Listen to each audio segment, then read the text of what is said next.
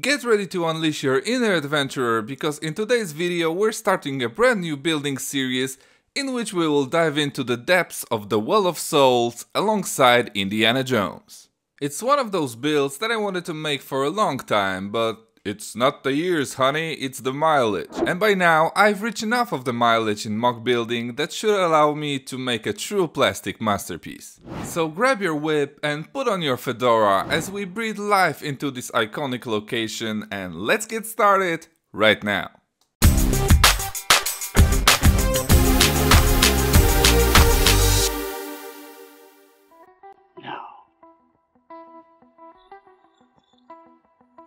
What we talk about? Well, Master, as it usually is with starting a building series, we need to have a plan first. The choice of location was pretty obvious when I decided to make an Indiana Jones MOC, because ever since I was a kid I loved the idea of discovering ancient Egyptian mysteries, so this location was spot on for that. The giant Anubis statues guarding the Ark of Covenant the hieroglyphs on the walls, and of course the mystery of the Ark itself was always something that got me pumped since the first time I saw Indiana on the big screen. And now with the release of the set 77013, I finally got the figures I needed to make it out of bricks.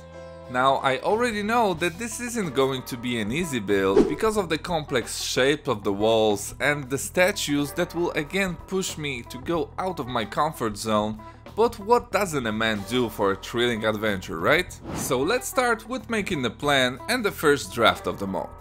I decided to make it on a 48x48 baseplate this time, that will for sure be easier to transport to a convention, but also the size is just right for capturing this location. In the center we'll of course have the podium to which Indy descended to, with a lowered level surrounding it and slanted walls all around the chamber.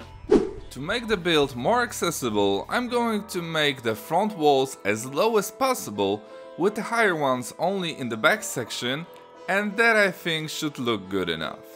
Behind the podium, ending with two massive Anubis statues in the corners, we'll of course have a couple of stairs leading to the platform where the Ark was hidden and all will end with a straight wall decorated with many of the printed and stickered bricks I've been collecting for the last couple of hauls. I started making the mentioned statues and made a part of the head but quickly changed my mind and skipped to some regular building as the statues will require a lot more planning and experimenting because like I said it's way out of my comfort zone. So first Let's establish the front of the side aisles and the first slanted wall. A couple of wedges in the front and lots of small plates and tiles should set up a nice flooring pattern all around the build and a mixture of regular and masonry bricks will make up a simple yet not too boring wall texture. And with that established, here comes the most difficult part of making the walls, that is this inverted slanted corner. I'm mostly working with the technique I made up in the front using some clips to make the lower part of the wall, and as for the rest, I think I'll worry about that later. First, let's finish the floor on this side and spread some snakes I own, since they are the main piece of decoration in this MOC. Snakes. Why did it have to be snakes? Yeah, Indy, why does it have to be snakes? Especially that I will need a lot of them for the build to look convincing, and the ones I would like to use, meaning dark blue and dark green, are not the cheapest at the moment. Let's just hope they'll drop them on the online Pick-a-Brick store before I end this series, because I really wouldn't like to use the cheaper regular green and red ones. But anyway, with that part done, it's time to start experimenting with the upper walls.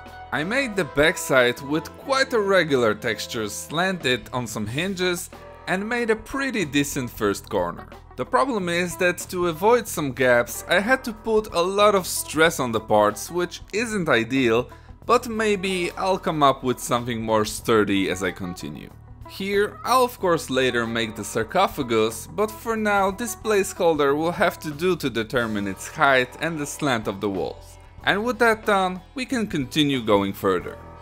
Okay, I've made the wall, but as expected, it's a bit too fragile for my taste, even with a couple of droid arms and clips holding them together, so I will definitely have to try a different approach. I mean, I might have an idea to make it more sturdy, but I think I will leave that for the next episode since it will take some experimenting with technic parts so now let's leave this be and let's work on the other side with making the same floor pattern and the lower walls. I removed all the placeholder parts from this side and of course covered the area needed with plates, so let's get to some proper work now.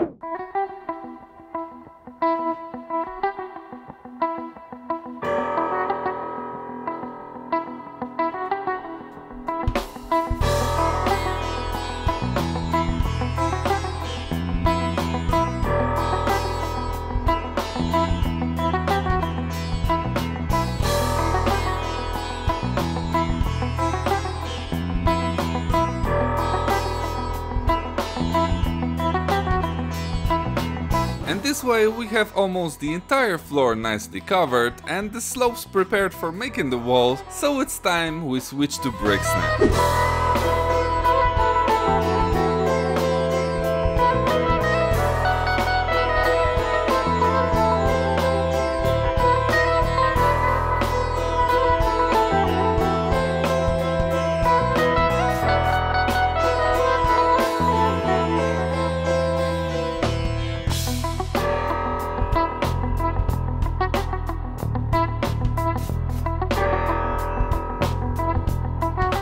You're a bit confused on why I made the wall here, don't worry, it's not gonna stay in this place. I just wanted to make it more visible while building, and now using the clip system, let's attach it in the proper spot.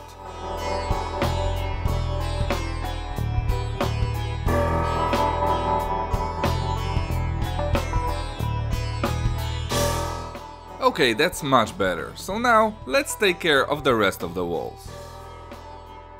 First, let's attach the clips that will hold them, so that I can plan out where I'll need to put the snot bricks, and then we'll take care of the rest.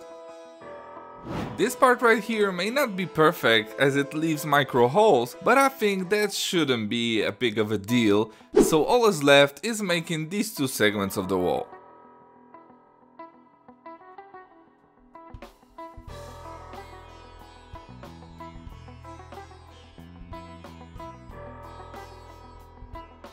And with that done, let's just put two more rows of plates on the back wall since I totally forgot about that, and this way I'll be almost done with this side. Yeah, almost, because I won't be able to finish it with tiles since I've used up all the ones I had, so that is something I'll have to restock.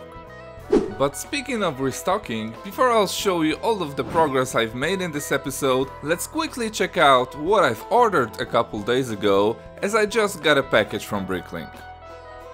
So the first thing I had to get were these two sticker sheets from the Well of Souls set to put on the back wall of the chamber. I also got the headgear for the second sarcophagus, a gold owl that may or may not be useful for the golden arch, and of course some snakes. Next are some golden pieces for decorations like candles, pistols, claws and cones.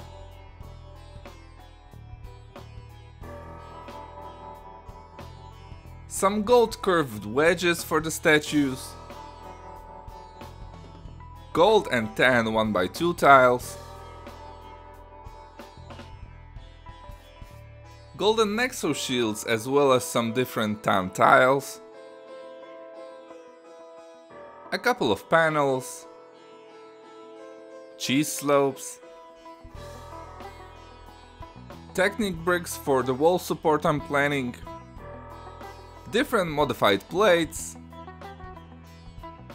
some regular 2x plates as well as half plates, half tiles, and a few different snot bricks, regular ones and one printed from the Adventurer sets.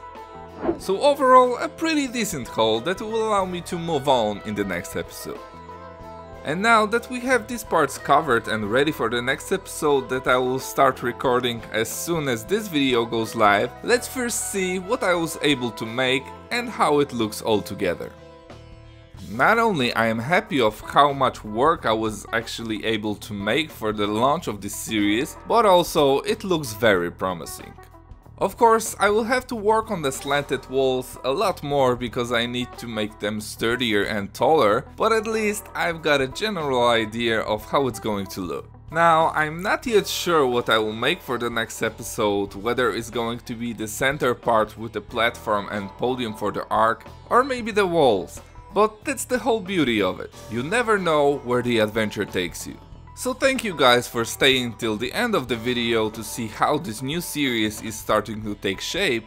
And if you enjoyed what you have seen here today, then as always, hit that like button, let me know your thoughts in the comment section below, and of course subscribe to the channel if you haven't done that yet. I will see you all in the next video here on CubeBrick, and until then just remember to keep it brickin'.